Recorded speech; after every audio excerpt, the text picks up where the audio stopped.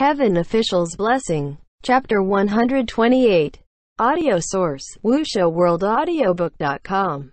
Blinded by the heart, brocade immortal forged by blood. After a pause, Jun Wu asked, Where's Qi Ying? Xie Lian looked around and indeed there wasn't a shadow of that young martial god. Perhaps because incidents upon incidents kept happening in the heavens, Ling Wen Palace was so busy it was going to fly off, and Ling Wen also had a few more dark circles under her eyes. It's been a long time since Qi Ying came to these meetings. We've never been able to connect with them. Some heavenly officials on the side clicked their tongues. Where did that little brat run off to again? Not here again? So envious that he doesn't need to attend all these meetings. Since we do not know Qi Ying's whereabouts, once we find him we will let you know and have the two of you coordinate, Jun Wu said. Xie Lian inclined his head in acknowledgement. Yes, my lord. The mortal realm was in the midst of autumn, the weather was chilly, and it was so inside Puqi Shrine. Although Xie Lian wore just the one layer, he didn't feel cold. However, on the way home, he still used the money he made from collecting scraps to buy two new sets of robes for Lang Ying. Hua Cheng had returned to the ghost city and Qi Rong ran away with Jiu Zi in tow, so now there was only Lang Ying left in Puqi Shrine. It had felt cramped before, but now it suddenly became deserted. As he walked, Xie Lian could see from afar Lang Ying sweeping in front of the shrine silently, raking the fallen golden leaves into a pile. Maybe it was all in his mind. But Lang Ying used to slouch, coiled in fear and nervousness, but now his limbs seemed to be stretched out, finally assuming the appearance of a cheerful boy, and Xie Lian couldn't help but feel heartened. He approached and took the broom and was just about to bring him inside when the villagers who had been hiding in wait for some time all ambushed them. Annie's and grandpa's, uncles and sisters all clamored around him. Dao Zhang, you're back. Did you go collect scraps in town again? You've worked hard. You've worked hard. Um, how come we haven't seen Xiaohua lately? Yes, yes, we haven't seen him for days. We miss the little guy. Xie Lian smiled awkwardly. Xiao, Hua went back home. Huh. The village head was puzzled.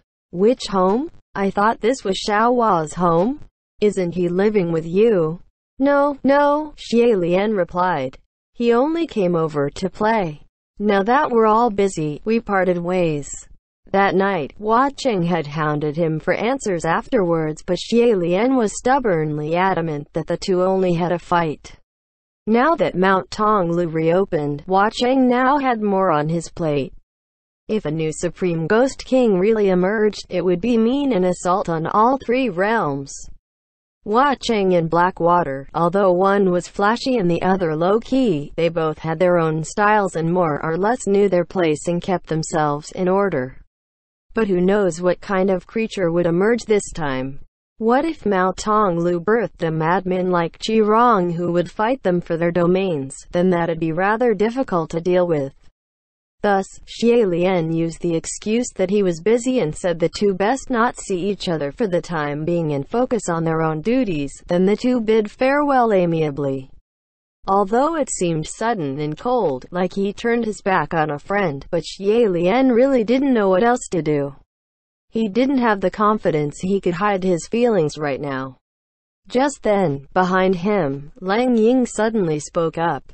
Fire. Only then did Xie Lian realize that while he was spacing out lost in thought, he accidentally took up the pot and spatula and ruined all the meat and vegetables he just brought back to Puqi Shrine. The fire under the pot was meters high, almost scorching the ceiling, and Xie Lian hastily slapped at the flames to put it out. However, he slapped too hard and the entire stove collapsed. Much rumbles later, Xie Lian stood there dumbfounded with a pot in hand, not knowing what to do. It was just around mealtime and the villagers were all holding their bowls eating happily outside the door. Surprised by the ruckus, they all came around again. What's happened? What's happened? Dao Zhang, did your place blow up again? Xie Lian quickly opened the window. It's nothing, it's nothing.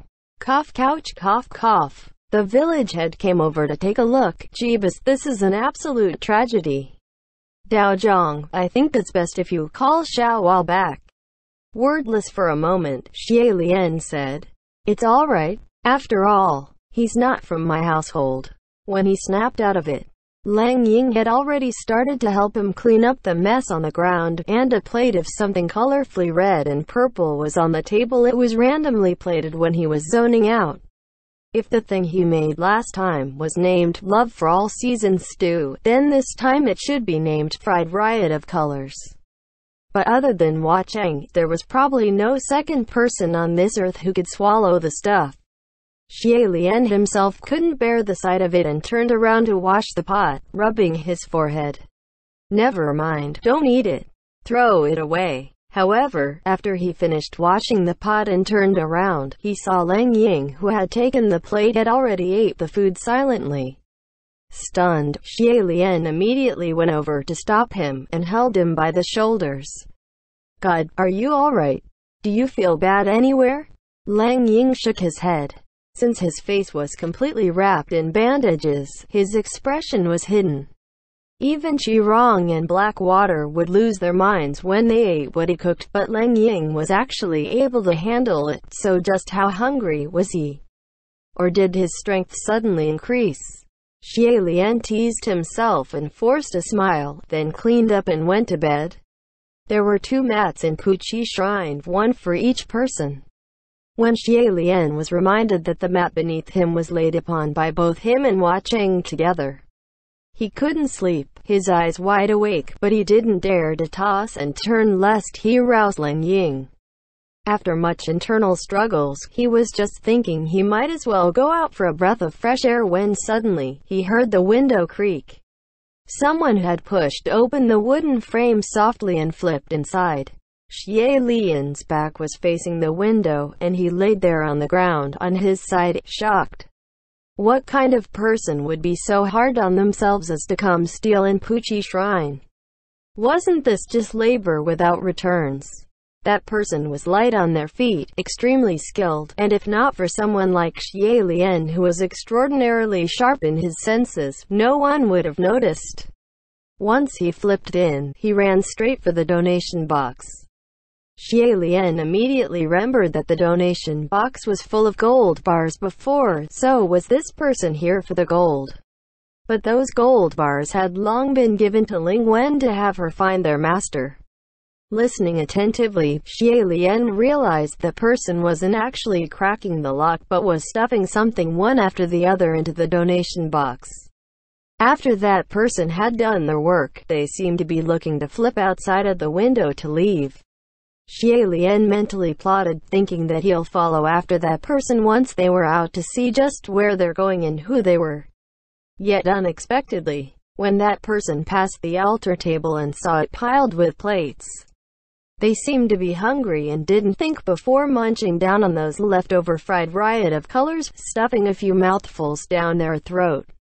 The next second, thud, and they were knocked out on the ground. Xie Lian immediately turned over and sat up, my troubles actually saved. He lit up the lights to look, and on the ground was a purple-faced figure lying flat, and Xie Lian hastily went to rescue his life pouring large mouthfuls of water down his throat before that person slowly came to. The first thing he uttered when he woke was, What the hell was that thing? Xie Lian pretended not to hear and chided solemnly. Your Highness Qi Ying, you really are too rash, stuffing whatever you find in your mouth without knowing what it is. That youth had a straight nose and deep brows, his head full of raven black curly hair. Who else could it be but the martial god of the West, Quan Yizhen? He glared, how should I know that anyone would actually poison their own food offered in their own shrine? Xie Lian rubbed his forehead and opened that donation box to see it was filled to the rim with gold bars. Was the box last time also filled by you? Quan Yizhen nodded. Xie Lian asked, What are you doing giving me this? Because I have a lot Quan Yizhen replied. Truthfully, Even if he wouldn't Xie Lian could probably guess that this was most likely because at the mid-autumn banquet, Lian shot out a chopstick to cut down the curtains of the theater. Take those back with you. I won't accept rewards without having done anything, Xie Lian said. Quan Yizhen didn't say anything, very obviously not listening. Xie Lian didn't know whether to laugh or cry. Just then, Lang Ying spoke up coldly. He's telling you to take it away.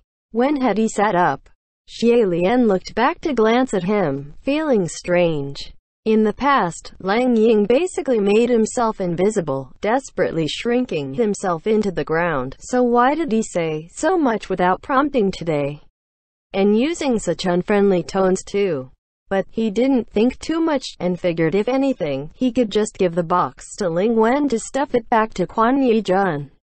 He straightened his expression. Your Highness, you've come just in time. You didn't attend the meeting at the Great Martial Hall today, but Jun Wu has given us a mission. Have you seen the scroll? Never mind, it's alright, I know you haven't looked through it. I've looked through it already. This time we're a team together, and the creature we're responsible for is called the Brocade Immortal. Single quote, quote dot. The Venerable of Empty Words was called as Venerable because people didn't dare to call it a rogue, a hellion, an annoying devil so directly, so it was a tentative flattery. Why was that brocade immortal venerated as an immortal? This was because according to legends, that creature truly possessed the ability to become a god once. Legends say many centuries ago, there was a young man in some ancient kingdom who although dumb and foolish by nature, his intellect no better than that of a six-year-old child, but once on the battlefield, he was no longer the same. His martial skills were extraordinary and was also brave but kind. When two kingdoms collided in battle, his kingdom was able to claim overwhelming victories because he charged in the front lines. Because he was mentally weak and had no family, all the rewards he gained from battle were taken by others, leaving him penniless. No households were willing to have their daughters marry such a man, and very few girls were willing to come close. That young man was also dumb to a certain point, and ever since he was young he had never made any contacts with ladies, never daring to speak a word. However, this person possessed the potential to ascend, and he should have risen to the heavens in a few years. At first, it didn't matter if no girls liked him, but the sad thing was, he still fell in love with a girl, and he fell deeply. On the day of his birthday, that girl sewed him a brocade robe as a gift. Although it was a brocade robe, it was extremely bizarre. It was more like a horrid pocket. This was the first time in that young man's life that he received a gift from a girl he loved and filled with exalted joy, plus his natural stupidity. He didn't notice anything strange with it, eagerly pulling the brocade robe over his body. There weren't any sleeves for the arms to go through, so he asked his beloved girl, How come my arms can't stretch out? That girl smiled cheerfully. This is my first time sewing so I'm not very skilled. But, if you don't have any arms then this won't be a problem. Thus, this young man raised a weapon and chopped off his arms. Now, the robe fit. However, it wasn't enough, and he asked again, How come my legs can't stretch out? That girl replied, If you don't have any legs then this won't be a problem. Thus, this young man asked another to chop off his legs too. Finally, he asked, How come my head can't peek out? The conclusion was easily imaginable. Originally, Xie Lian had also thought that Brocade Immortal was perhaps a monster or demon wearing a brocade robe, but turns out it was actually the robe itself. When Mount Tonglu reopened and millions of demons were aroused, someone had robbed away that robe, having been smeared by the obsessed blood of that young man that brocade robe was forged into an exceedingly malicious and powerful spiritual device, and throughout the centuries, it changed hands among demons, using it to harm. Thus, never accept any old, used clothing from unknown origins, and if you are to run into someone who wish to gift you a brocade robe on the street in the middle of the night, never take it. Should you wear this brocade robe, you will become a pig for slaughter. Of course this was only a legend and sounded rather outlandish, and the stories could very well be made up by people who simply extracted from the unique nature of the brocade robe. Nevertheless, this brocade immortal must be stopped. They must not let it go to Mount Tong Lu. MXTX author's notes. First, the real Lang Ying has no relation to Wawa whatsoever. But believe me, there's only Wawa in this world who can eat the things the crown prince cooks, so Wawa never left. He switched Lang Ying out with himself today. Comma I don't understand why no one noticed. Z I thought I made it very obvious already.